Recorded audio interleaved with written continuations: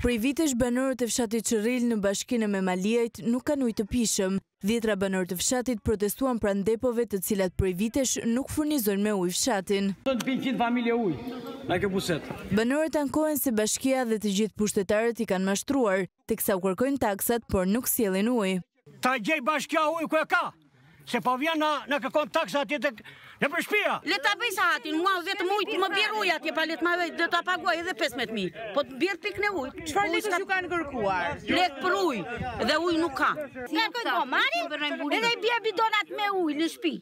Me bidona do bëj punë të Me periudha vjen, vjen një muaj dy dhe për një vit nuk vjen më Ujë ka plot, po është në Bylysh S'është në lagjen tonë, në fshatin tonë ujë Ai tani ka bërë vreshta, ka bërë, ka tjerë ça ka bërë atje, i shiko, janë vreshta edhe Ata vendosën afat ndaj bashkisë që të marrë masa, ose në të kundërt, paralajmëruan se do të përshkallëzojnë protestat.